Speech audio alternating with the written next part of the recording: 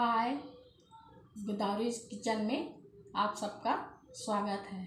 आज हम जिमीकन का सब्ज़ी बनाने जा रहे हैं, जो छत्तीसगढ़ का लोकप्रिय सब्ज़ी है। पहले हम जिमीकन को छोटे छोटे पीस में कट, काट के कुकर में उबाल लिया है। फिर छीला और फिर ये छोटे छोटे टुकड़े में काटे हैं।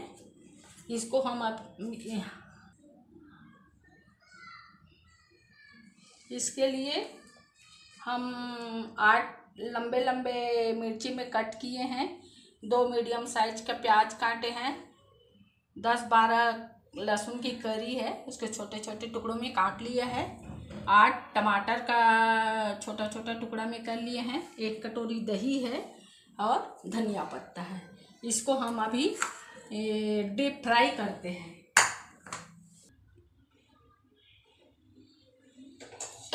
कढ़ाई रखा है, इसमें हम फ्राई करने के लिए उसके हिसाब से तेल डाला है। अब डीप फ्राई करते हैं हम। अब हमारा तेल गरम हो गया है। इसमें हम एक एक ठोकर के फ्राई करेंगे को।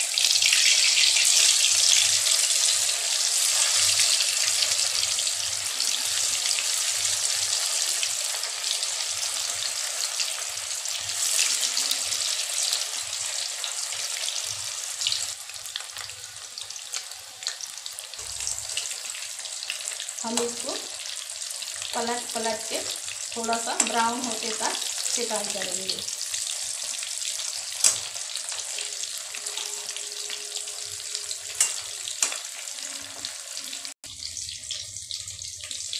देखो, ये हमारा फ्राई हो गया है, चारों तरफ़ मस्त ब्राउन हो गया है। इसको निकाल देते हैं।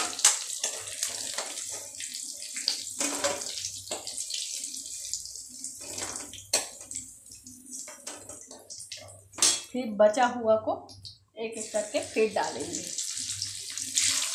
पेशेंस रखना, इसमें थोड़ा टाइम लगता है क्योंकि ये बहुत टाइम में फ्राई होता है। इसीलिए थोड़ा सब्र रखने की ज़रूरत है।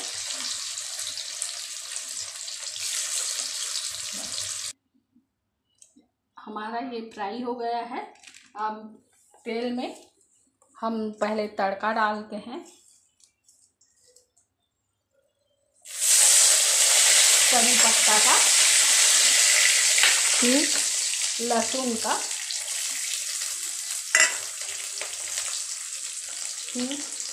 मिर्च रख, काली हरा मिर्च रखें इसका।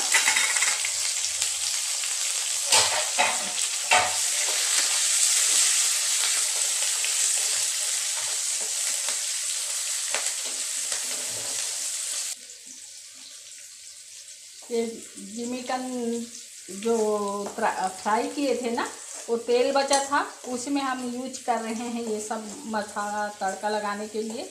अब हम प्याज डाल रहे हैं। हल्का ब्राउन होने तक प्याज को तलेंगे। अब हमारा प्याज ये ब्राउन हो गया है। सबसे पहले हम मसाला डालते हैं। मसाला में पहले लाल मिर्च पाउडर, एक चम्मच लाल मिर्च डाले हैं। और ये पौन चम्मच हल्दी पाउडर, एक चम्मच धनिया पाउडर और एक चम, एक आधा चम्मच जीरा पाउडर और आधा चम्मच गोल मिर्च पाउडर।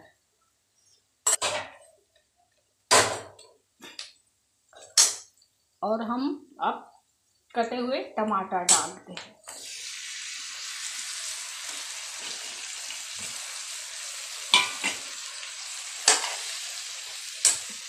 और इसमें नमक डालते हैं।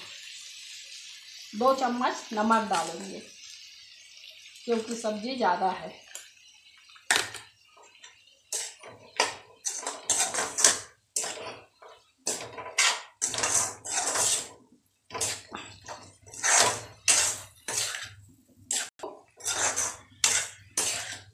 मध्यम आँच में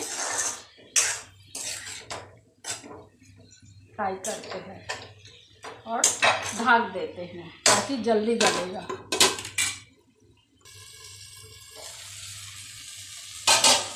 हमारा टमाटर पक गया है। देखो तेल छोड़ने लग गया है।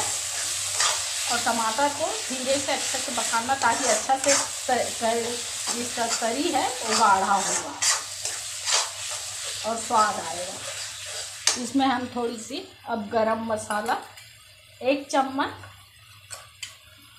गरम मसाला डाल देते हैं।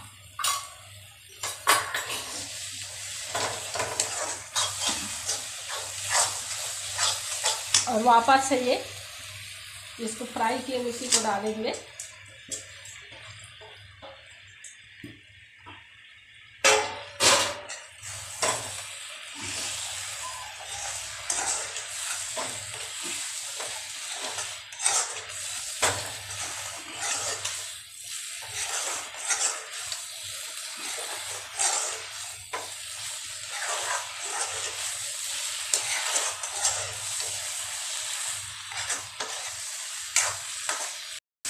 फिर मसाला में जिमीकन को डाल के फिर से अच्छे से मिला लिए हैं।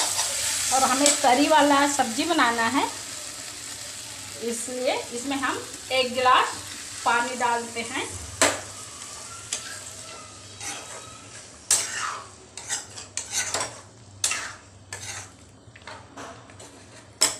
और थोड़ा सा पानी की ज़रूरत है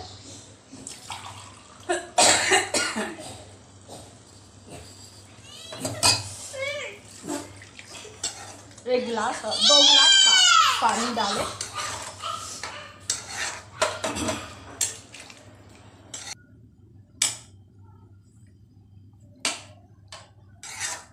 ये थोड़ा सा मतलब दही स्वाद के लिए डालेंगे, क्योंकि ये खट्टा इसमें ज़्यादा खट्टा की ज़रूरत रहता है टमाटर तो ऐसी ज़्यादा डाले ही हैं तो भी थोड़ा स्वाद के लिए एक कटोरी दही डाल देती हूँ।